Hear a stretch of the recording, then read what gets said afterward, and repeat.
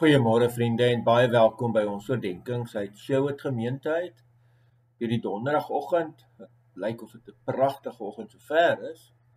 Bietjie wind later, maar vanoggend nog 'n baie mooi oggend. En ons gaan voort met ons reeks uit Micha uit. En ons is by Micha 4 vanaf vers wel, vers 5 vanoggend wat 'n ongelooflike kragtige en 'n sterk belydenis is. En die vraag is gaan ek en jy met dieselfde oortuiging as die profeet dit vandag sê?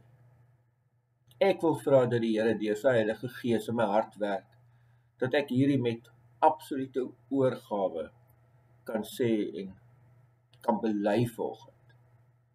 Vers 5 in hoofstuk 4 van Micha sê: Elke nasie kan maar lewe in die naam van sy God. Ons sal vir altyd in die naam van die Here ons God lewe.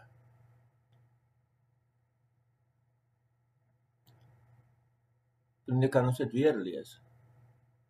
Elke nasie kan maar lewe in die naam van sy God. Ons sal vir altyd in die naam van die Here ons God lewe.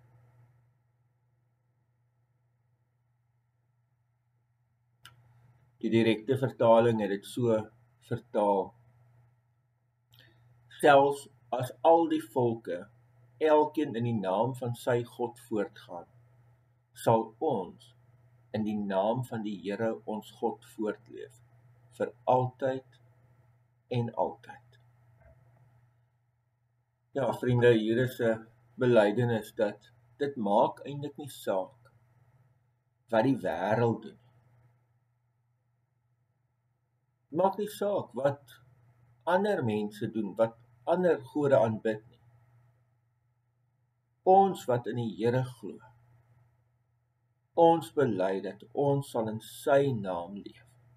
Ons sal in sy naam voortgaan. Dat dis eintlik al wat ons het.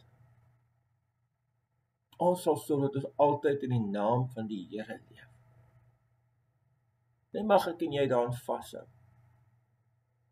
Mag ek en jy dit bely, mag ons dit hardop vir die Here sê vanoggend. Dalk vir myself ook sê. Maak nie saak wat in hierdie land gebeur nie, maak nie saak wat vandag gebeur nie. Ek sal leef in die naam van die Here. Wanneer ons die teks lees en lees en lees, dan gaan hy iewers agterkom ook dat die woord word daar gebruik ons. Ek leef nie alleen in die naam van die Here nie. Wanneer ek in die naam van die Here leef, dan leef ek ook saam met ander gelowiges. Dan is ook ander gelowiges wat saam met my hierdie pad loop. So vriende, kom ons leef in die naam van ons Here. Amen. Kom ons bid hierdie mooi gebed ook saam. O Here, ek smeek U.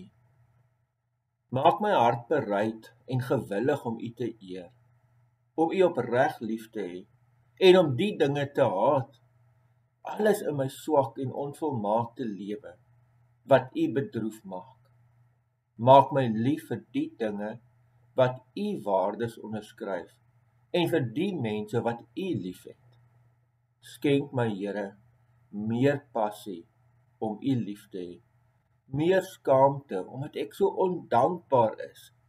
Meer hartseer oor my moedswillige sondes. 'n Groter verlange na U genade. 'n Dieper smagting na ware eenheid met U. O Here, laat juis my koudheid van hart die gloed van U liefde aantrek. Laat juis my leegheid en dorsheid soos 'n dorstige stuk land my so na U laat smag dat niks anders my kan versadig nie as U net U. Dit is U wat my siel kan verkoop en my verlange kan stil. My woorde is te min om werklik te verwoord wat ek voel Here. Laat dan maar my stemlose lof aan U eer bring Ek wag totdat U my leegheid vul. Amen. So, vriende, daar's ook gemeentelede wat vandag verjaar. Ons wil net vir hulle sê baie geluk. Bianca Eksteen, Mariska Henneken, Elena Streek en dan Johanna van Wyk. Baie geluk met elkeen van julle se verjaarsdag. Mag julle 'n pragtige dag hê. Sy vriende, totsiens. Mooi dag vir elkeen van julle.